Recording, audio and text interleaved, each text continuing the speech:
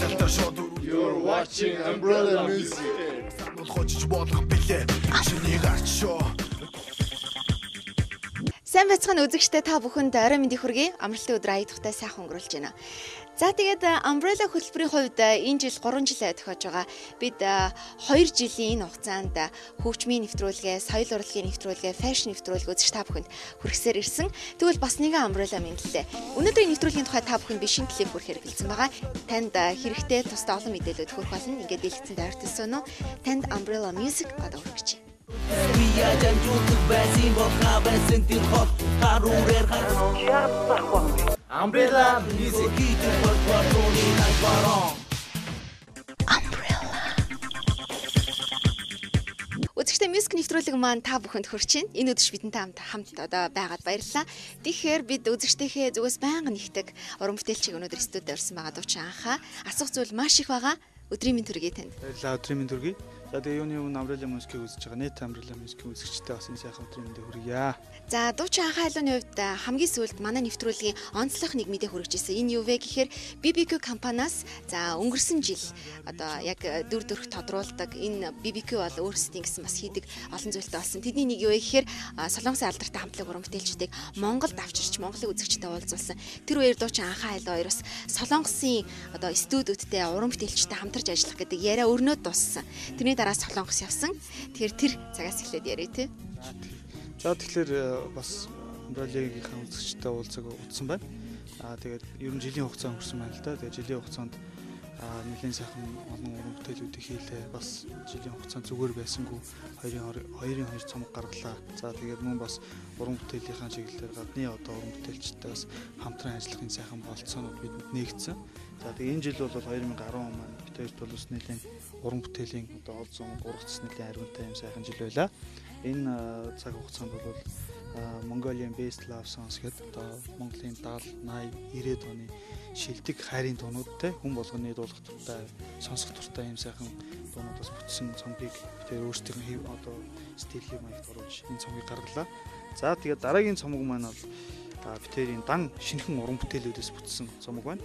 Энэ бол нандин гэдэг нэртэй хүний одоо ялангуяа залуу хосуудын залуу гэр бүлүүдийн амьдрал сайхан нандин байгаасаа те тэдний хийж байгаа хэлж байгаа бие биендээ хандж байгаа бүх зүйл сайхан нандин байгаасаа гэдэг утгаар нандин гэдэг дууг зохиож энэ дууныхаа энэ цомгийнхаа одоо цомгоо нандин гэдэг сайхан нэрээр нэрлсэн. Дуучин анхаа айлууны хувьд бас гадаадын нэлээд хэд улсуудад тоглолтоо хийлээ. А, Ерөөхдөө бас байнга үзэгчтэйгээ уулздаг ч гэсэн уран бүтээлүүд нь хөрсөөр байгаа. Тэгэхээр тодруулж хэлэх юм бол ер нь хаана хаана очиж үзэгчтэйгээ уулзав.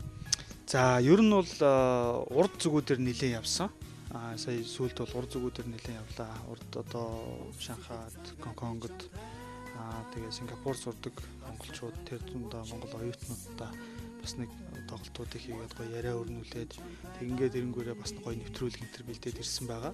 За мөн дараагийн асуулах нэг асуулт юу вэ гэхээр ер нь бол Холливуудын алдартай одууд залуу үеийнхэндээ үлгэр дурайл үзүүлдэг гэр бүл гэж байдаг. Тэгэхээр дуучин анхаа айлууны хувьд бас үрийн зулаа өнөрлөөд удаагүй байгаа гэж хэлмээрээ. Тэгээд хүүхэд нь том болж гинөө. Гэр бүлийн уур амьсгал мэдээж гахалтай сайхан аз жаргалтай байгаа. Хамтдаа уран бүтээлээ төрөөд хамтдаа одоо ингээд сайхан ханийн жаргалыг идлээд ингэж байна гэдэг бол одоо их сайхан байхаа гэж боддог. Яагаад тэгэхээр үзэгчд маш мэдчихдээ хэлдгийн. Тэр хоёроор сонь сайхан юу байгаа их гоё юм а те гэл цаахан хатаархдаг ч юм уу те. Залуу хосоод байвд. Тэгэхээр гэр бүлийн сонь сайхнаас сонсъё. За баярлалаа. Бас сайхан сайхан асуулт асуулт байна. Яг хөө ер нь тэгэл э, манай хүмүүс одоо овоо болчлоо. 3 настай. Тэгээд э, айгүй хөөрхөн байгаа. Аавынхаа хаана шүү дээ. Тэгэл одоо э, аав ээж хоёрыгээ ду- дуурайгаад битэрийн дуунуудыг бүгдийг мэднэ. Тэгэл одоо ял нөгөө машинд э, цэцэрлэгт нүргэж өгөх мөх гэдэг ч юм уу тэгэл машин дандаа дуунууд явж идэг. Тэгэл зурагтаар радиогоор сонсдсон юм хэлгүй те. Сүүлийн үед айгүй их тийм сүрхээ дуулдаг болоод байгаа. 3 настай байж иж тэгэл баг битбокс мокс их гээл үзээд байгаа шүү дээ. Тэгээд Min чи хаа ингээд бол сулдаа хайр гэдээ дуулаад байгаа шүү дээ. За зөндөө их мэдээ авлаа. Зөндөө хэрчгэж авлаа. Их баярлалаа. Тэгээ дараагийнхын шинэ уран бүтээлээр бид эргээд уулзъя гэж бодож байна. Бодвол энэ цомгийн манад өгөх бах тийм үү? Тэгэхээр би чинь нэхэр энэ цомогт багцсан дуунуудыг одоо 103.6 радиогоор та бүхэн одоо эхээр нь хүлээн сонсох боломжтой. Монголын үзэгчдэд энэ боломж бол одоо шууд олддог учраас энэ давуу талыг битгий алдаарай. Радиогоор цахиалаас сонсох боломжтой.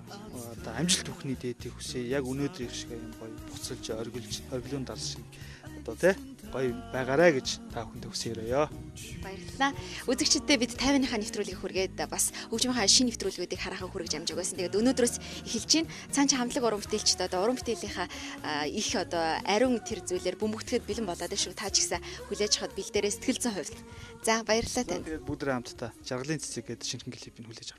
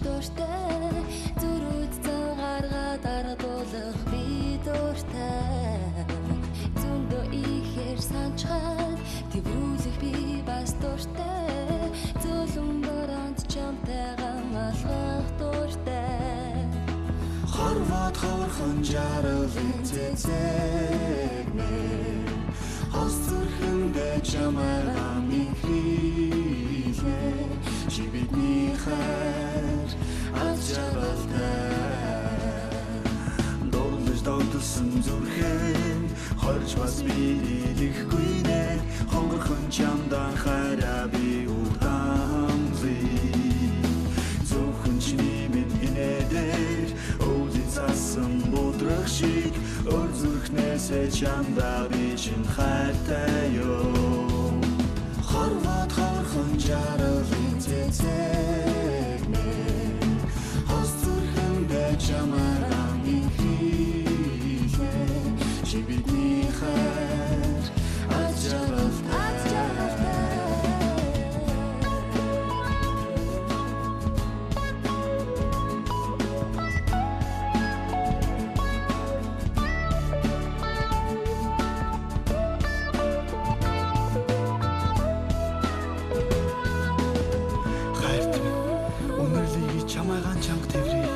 Оюнглог дуу бүхнийг чамдаан зориулж ялий.